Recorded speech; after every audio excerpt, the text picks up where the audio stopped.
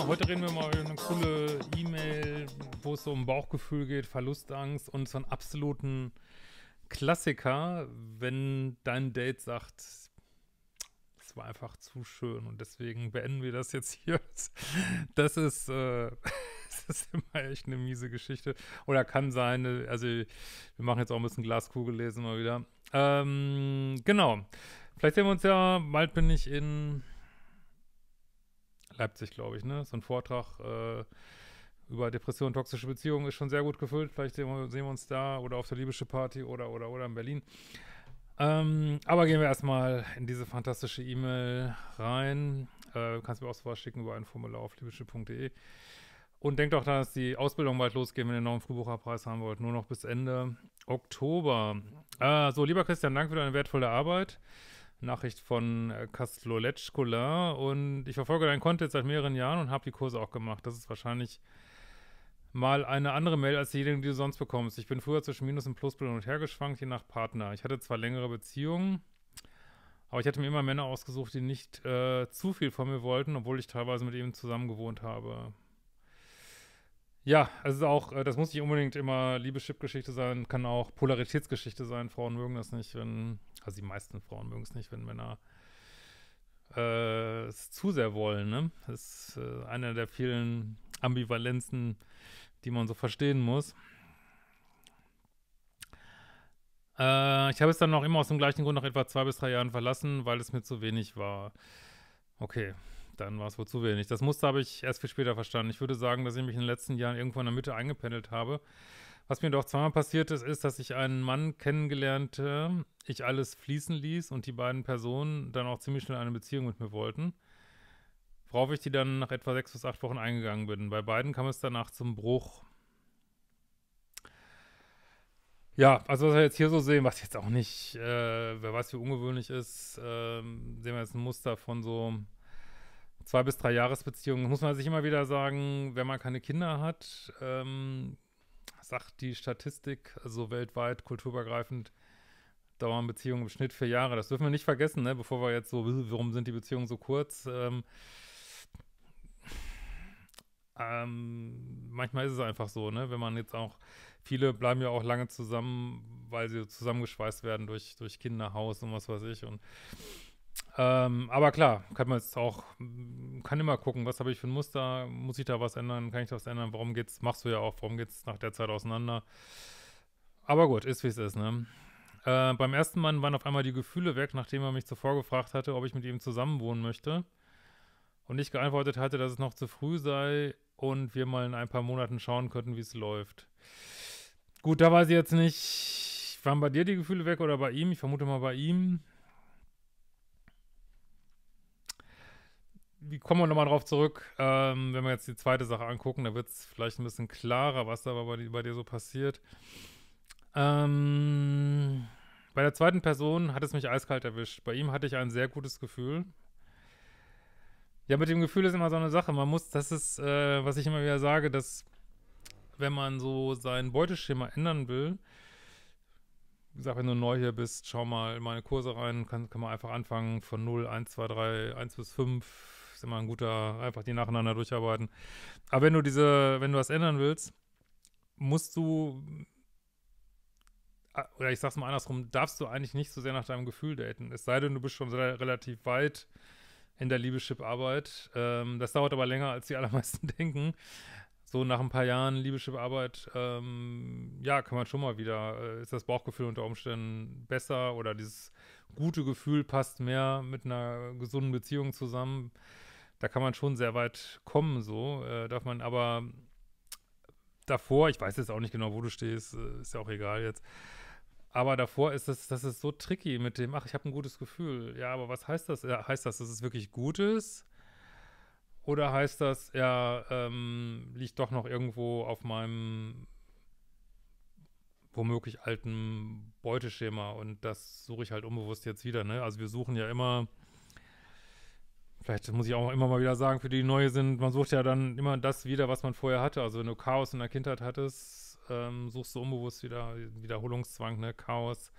Auch im Erwachsenenalter, auch wenn man eigentlich denkt, ich will das aber doch nicht, aber man sucht es halt immer wieder, ne. weil das Gehirn so dran gewöhnt ist und alles andere, was das Gehirn nicht kennt, fühlt sich total ungewohnt an. Ne? Jetzt muss man aber auch sagen, wir reden hier, ich würde nie irgendwo was sagen, heißt, man braucht ja auch ein bisschen, um einen Partner kennenzulernen. Ne? Wenn das nach, nach zwei Monaten auseinandergeht, hat man immer noch nicht viel Zeit verloren, hat einen hohen Lernwert, sehr wahrscheinlich. Da ist man schon mal, äh, also wenn man die Sachen nicht mehr 10, 20 Jahre laufen lässt, ist schon mal ganz gut. Ne? Aber gut, äh, ja, kommen wir zurück hierzu. Also sehr gutes Gefühl. Wir hatten eine gute Verbindung, super Gespräche, guten Sex. Ja, es hat alles gepasst. Was ich jedoch von Anfang an gespürt habe, was ja ungewöhnlich für mich ist, äh, dass ich Verlustangst bekommen hatte, die ich aber weggeschoben habe. Das finde ich jetzt einen ganz entscheidenden Punkt, was ich auch ähm, meinem Verlustangstkurs da übrigens gerade 20% reduziert ist, weil wir gerade so eine Kurzvideo-Aktion machen äh, über den Verlustangstkurs. Ähm, braucht ja auch keinen Code, einfach draufgehen.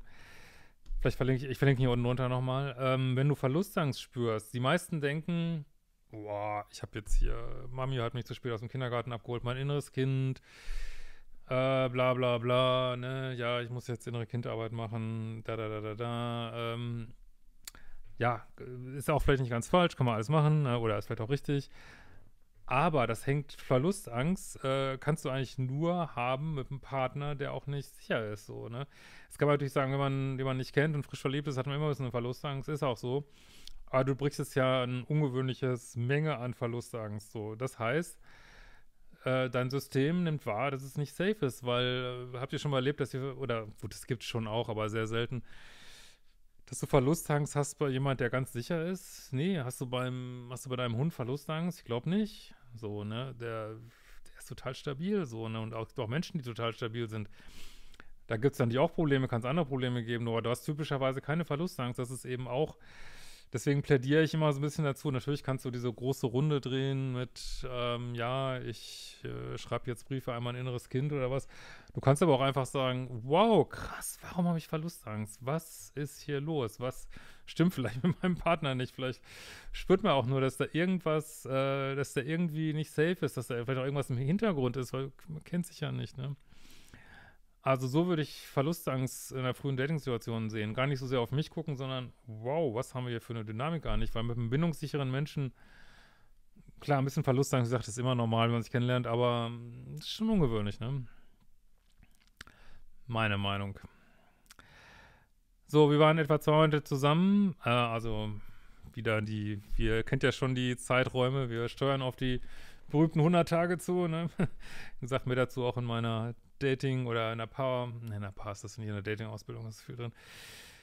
Äh, die kommt ja neu dieses Jahr. Ähm, so, also zweimal zusammen. Er hatte mich für ein Wochenende nach, nach äh, Turkmenistan eingeladen. Wir hatten drei wunderschöne Tage mit viel Intimität und Spaß verbracht. Nachdem wir zurückgekommen sind, fühlte es sich so an, als hätte mir jemand ein Stück Herz herausgeschnitten. Ja, und das ist nicht, ähm, sag mal so, nutze jetzt mal das Wort, ist nicht normal. Ne?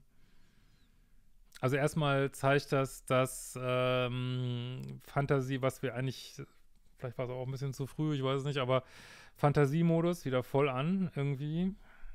Ja, sonst, weil du bist ja jetzt an dem Punkt, bist jetzt auch nicht mehr geerdet, so würde ich sagen. Ne? Also, und äh, irgendwas stimmt da nicht. Also dein System, wir haben ja so einen sechsten Sinn, nimmt irgendwas auf. Und natürlich kann man da jetzt nicht gleich drauf reagieren, wenn man keine Fakten hat, so, ne? Aber, aber wenn du krasse Verlustangst hast, äh, da spielt jemand irgendwie hot and cold, sonst wird es meiner Ansicht nach einfach nicht passieren, ne? Es sei denn, wie gesagt, Mami hat dich immer so spät aus dem Kindergarten abgeholt, du hast ganz, dein ganzes Leben immer nur Verlustangst gehabt. Aber äh, so, wie das hier geschrieben steht, muss es was mit einer Beziehung zu tun haben, ne?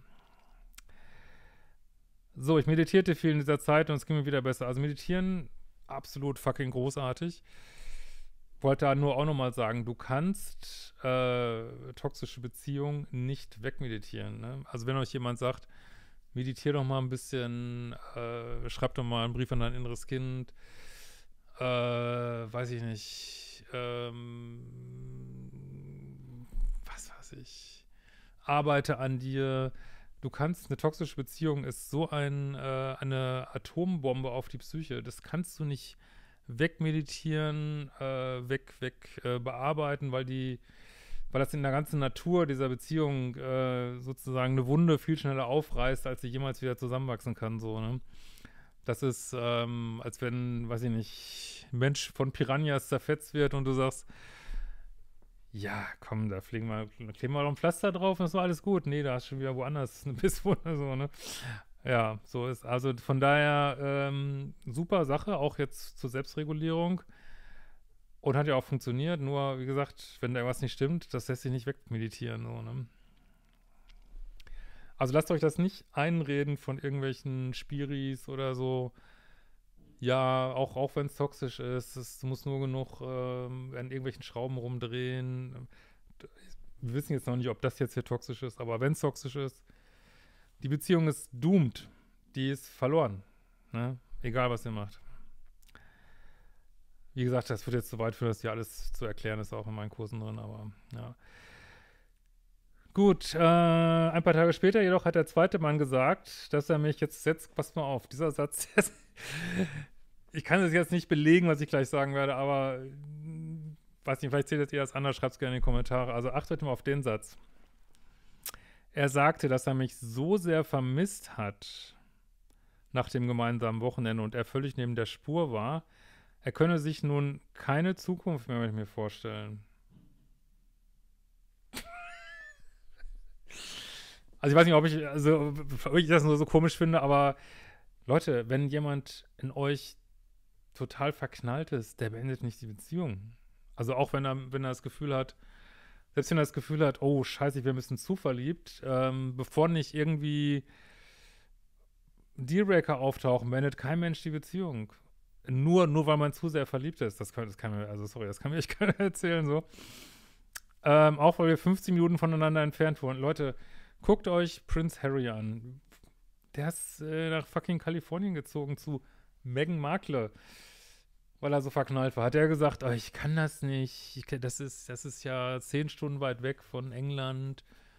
Nee, man macht es einfach. Man wechselt die Regio Religion, wechselt das Geschlecht, weiß ich nicht, was man heute alles wechselt, äh, um mit diesen Menschen zusammen zu sein. Und natürlich, äh, wenn du ähm, bewusst bist und vielleicht auch ein bisschen ausgebildet bist, vielleicht auch libysche Kurse gemacht hast, stellst du vielleicht fest, boah, das ist nicht gut, ich bin zu verliebt. Aber du verlässt die Beziehung trotzdem immer erst, wenn auch wirklich Scheiße passiert ist. Du verlässt sie nicht einfach nur, weil du äh, verknallt bist. Also entweder, es gibt da zwei Möglichkeiten. Entweder da ist irgendwas im Hintergrund, was du schon wahrgenommen hast. Typischerweise immer die Ex oder irgendwie sowas. Äh, oder diese Person ist so, das gibt's auch. Es gibt Leute, die sind so instabil, psychisch so instabil, will ich ihm jetzt aber nicht unterstellen, ne? Ich wollte es nur einfach mal auch aufgezählt haben. Weiß ich nicht, habe ich jetzt keine Anhaltspunkte, aber ähm, machen wir hier auch nicht. Aber ich wollte es nur sagen, es kann auch sein, dass jemand psychisch so instabil ist, dass seine Verliebtheit nicht aushalten kann, weil es gibt Menschen mit bestimmten Strukturen, sag ich mal, äh, dass die Verliebtheit dann so intensiv, also war es bei dir jetzt auch, dass sie das Gefühl haben, ich kann das einfach nicht handeln. Aber selbst die, würde ich sagen, würden sich nicht einfach trennen dann so, ne? Also, und, und Männer würde ich jetzt mal sagen, schon mal gar nicht. Also, dass ein Mann sagt, ich, ich trenne mich jetzt von dir, weil ich dich zu gut finde, sorry, das ist für mich so ein Satz, wo du irgendwas aufgetischt kriegst. Weil, weil du die Wahrheit nicht haben sollst, ne? Weil es ist vielleicht auch gut gemeint, ne? Ich will, dass man vielleicht niemanden verletzen will und, äh, aber irgendwas ist da faul. Irgend, also das, also mein Bullshit-Indikator sagt, da ist irgendwas faul. Ne? Ja. So, und er einen stressigen Job hätte. Ja, aber warum, äh, das wusste er doch vorher auch schon. So, ne? Also, dann lässt man es doch gleich und sagt nicht, oh, ich finde dich jetzt so gut, finde dich so gut, dass ich nicht 50 Minuten zu dir fahren würde. So, ne? Und äh, dass ich nicht ähm, sozusagen, und ich finde dich so gut, dass ich mir nicht vorstellen kann, eine Beziehung zu dir äh, wäre ein schönes Gegengewicht zu meinem stressigen Job. Also, sorry, das, das ist das ist, könnte in die ewige Sprücheliste aufgenommen werden hier. Also, das ist schon echt lustig. Ey.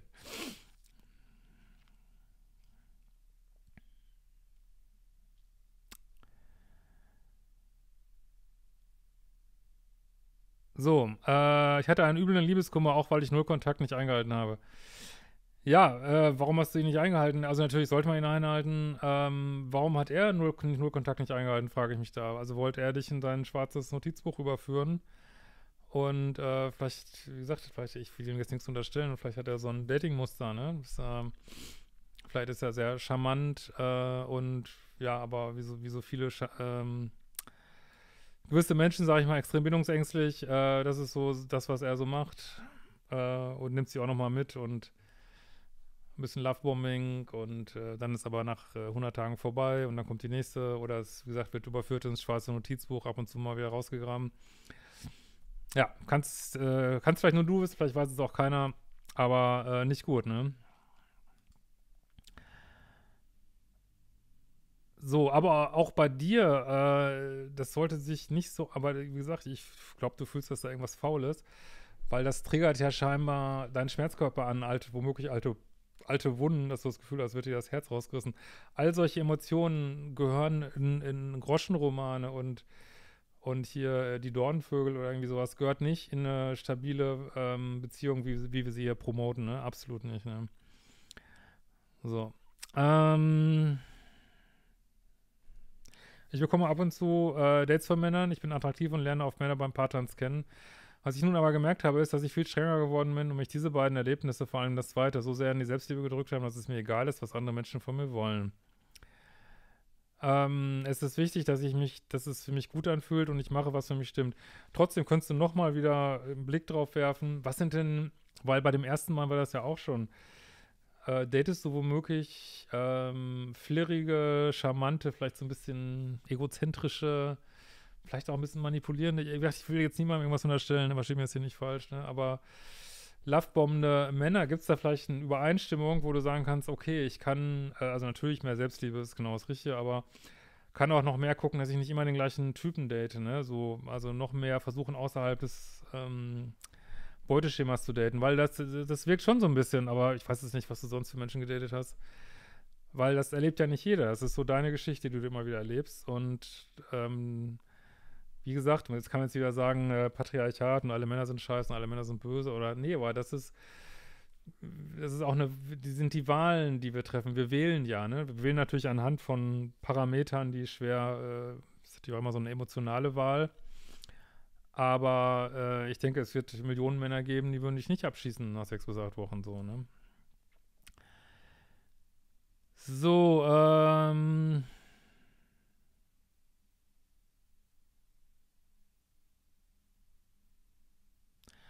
Aber strenger geworden ist ja genau, was wir immer sagen hier, ne?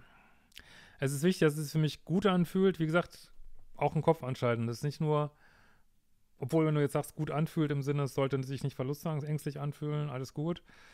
Aber wie gesagt, Vorsicht, mit, äh, wir müssen nicht nur aufs Gefühl, wir müssen auf den Kopf, wir wollen auch den Kopf mitnehmen, ne?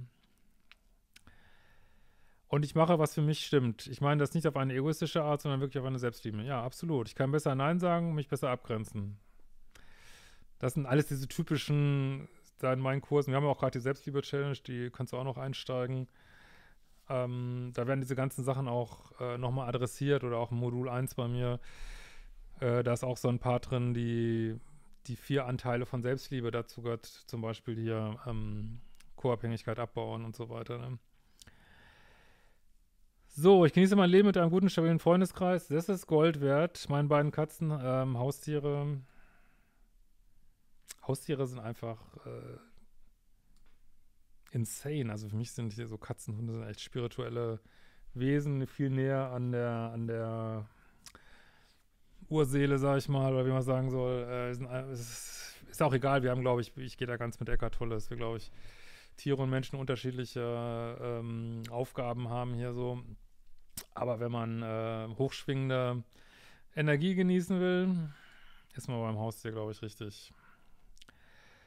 Äh, einen spannenden, erfüllenden Job, ein paar richtig coolen Hobbys. Was ich da draußen sagen möchte, ich habe zwar noch keinen Partner gefunden, aber spielt auch keine so große Rolle in meinem Leben. Sollte es auch nicht. Es sollte, es ist wirklich besser, wenn es immer so ein Add-on ist, ne? Viel wichtiger ist es, sich selbst zufriedenzustellen. Ja, also wenn man sich selbst nicht glücklich machen kann, kann das ein Partner auch nicht auf die Dauer, ne? Äh, weil dadurch so viel unabhängiger wird. Deine Arbeit, Christian, hat mich sehr dabei unterstützt. Auch die Bücher von äh, Steffi Stahl und Men Mentaltraining. Es ist möglich, aus alten Mustern auszubrechen, an sich zu arbeiten. Es geht nicht von heute auf morgen, aber die Arbeit lohnt sich total. Ähm, ja, man muss auch nicht immer alles verstehen, was in der Psyche vorgeht. Man kann einfach so Schritt für Schritt, ähm, ich, ich habe ja mein großes Ding, da werde ich auch, glaube ich, mein nächstes Buch drüber schreiben, ist ja diese, sich jetzt selber so eine Werteorientierung zu geben. Weil wenn du weißt, wo du hin willst, so, ne, und welche Werte du leben willst, dann musst du gar nicht alles verstehen, was in dir vorgeht, sondern du sagst, hey, ich ähm, lege jetzt einfach für mich so bestimmte Verhaltensmaßregeln fest. Und das Gehirn folgt eigentlich immer, weil das Gehirn beobachtet, beobachtet uns die ganze Zeit und liefert das ab, so wo du die Intentionen hingibst. So, ne? Wenn du jetzt sagst, ähm, ich, ich bin streng, selbstbewusst, äh, cool, nicht mehr verlustängstlich, für mich sicher und verhalte mich auch entsprechend, dann beobachtet dich dein Gehirn und sagt sich, ja, cool, dann liefere jetzt auch die entsprechenden Gedanken, Glaubenssätze und Gefühle dazu aus. So, ne? so sieht man das ja heutzutage und ähm, ist oft der kürzere Weg übers Verhalten als, nicht, dass das andere jetzt falsch wäre, aber als so, ah, ich muss jetzt alles in mir verstehen und, und ja, du musst es aber immer noch umsetzen, ne? So, äh, es geht nicht von heute auf morgen, weil die Arbeit lohnt sich total. Wenn man selbst keine Grenzen setzen kann, werden sie andere Menschen nie respektieren. Also das sieht man überall in der Welt. Auf äh, Gruppenebene, auf Partnerschaftsebene, in, in Familien und auch auf Staatenebene. Wenn du keine Grenzen setzen kannst, werden diese Grenzen nicht beachtet. Es ist, ist überall das Gleiche, ne? Ja. Ähm, wenn man sich selbst nicht genug liebt, wird man auch die Liebe von seiner Umwelt nicht erhalten. Ja, das ist ja die äh, Kernaussage auch in meinem Modul 1. Absolut. Hast du schon mal gemacht. Ähm, behandle dich selber wie ein König, werden das andere tendenziell auch tun. Ne? Und das ist nicht so leicht, wie man denkt. Ne? So, wenn man sich selber nicht genug liebt, wenn man auch denkt, hm, ich möchte alle wirklich ermutigen, auch ihr blöde, wenn ihr blöde Dating-Situationen lebt und resigniert habt, lasst euer Leben nicht davon dominieren, sondern legt den Fokus auf die vielen anderen schönen Sachen, die es im Leben gibt. Naja, und ist ja auch jetzt nichts Schlimmes passiert. Du hast ein bisschen Liebeskummer oder du hast. Aber wie gesagt, das ist so ein bisschen. Alles ein bisschen zu dopaminlastig, sag ich mal so, ne? Ähm, ich habe so viel Zeit verschwendet, darüber nachzudenken, wieso ich nicht geliebt werde, wieso jemand mich nicht anruft und sich so und so verhält. Ja, was man bei dir auch sieht, du sagst ja selber, du bist attraktiv und alles, das, das, das sind wirklich diese Muster, die man dann nach außen projiziert und von außen kommen sie wieder zurück. Das hat ja, deswegen, du kannst durchaus in dieser Welt, äh, du kannst alt sein, du kannst durchschnittlich aussehen oder auch unterdurchschnittlich, äh, du kannst zu dick sein und trotzdem mega Datingleben haben, weil, weil deine Glaubenssätze einfach stimmen, so, ne? Das ist eh viel wichtiger, so, ne? Mittlerweile ist es für mich einfach nicht mehr so relevant. Das ist sowieso, also in dem Moment, wo man es nicht mehr relevant ist, wird es komischerweise häufig besser, ne? Weil es mir viel wichtiger ist, wie ich mich fühle und dass es mir gut geht. Viele Grüße und danke für alles. Ja, danke für die schöne Mail. Macht die folgenden Kurse. Äh, hoffe, wir sehen uns mal live. Und ähm, ja, schaut auch mal gerne mein aktuelles Buch rein. Tut, tut, tut. Gibt's auf meiner Webseite auf Amazon und bis bald. Ciao.